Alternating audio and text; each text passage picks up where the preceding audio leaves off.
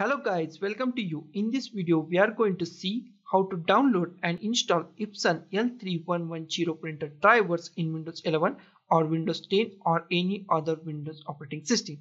First of all, just go to any web browser and just type here Epson L3110 printer drivers download and hit enter. First link is from the Epson. So open this link this website from the Epson automatically detect your operating system. In this case, my operating system is Windows 11, but drivers are not available for the Windows 11. So it's redirect me to Windows 10 operating system. My machine is 64 bit, so it redirect me to the 64 bit. If your machine is 32 bit, then it is automatically select 32 bit. If any other operating system, then it's automatically detect and select that operating system. So don't worry about that. Here, just click on the drivers at here. At the last drivers option, click on that drivers option and download these two drivers, printer drivers and scanner drivers. Click hit on the download for the printer, accept it and download it. Next is go to the back and here is the drivers and just click on the scanner drivers. Download accept it okay? Now wait for a download to complete it. Now our all download is completed. Cancel it. Cancel it.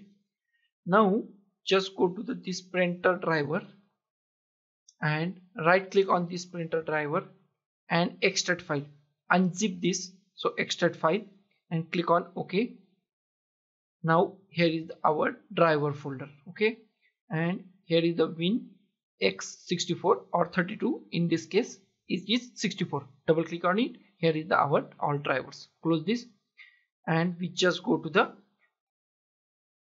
start. In start just type control panel. Click on the control panel. Here just click on the devices and printers. Click on devices and printers click on add a printer at the top. Okay. Now here just click on the printer that I want isn't listed here select add a local printer or network printer with manual settings. Next. In port just select any USB port. USB 001 002 003 004 any USB port and select this port. Next. Here just click on have a disk. Click on the browse and just go to the desktop. Our drivers are on the desktop. Here we find L3110 double click it double click it double click it. Select the last option. Okay now click on the ok. Now here is the our Epson. Select this printer.